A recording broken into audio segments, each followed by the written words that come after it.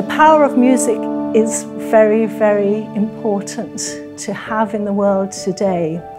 Not just music, but the arts generally, because they open another world for you. They open a creative world, and creativity and the arts are what makes society and civilization.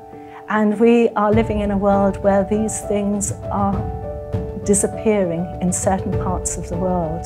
So it's important that our young children learn about music and have that as something to go with them through life and something that they can share with others and make society a better place.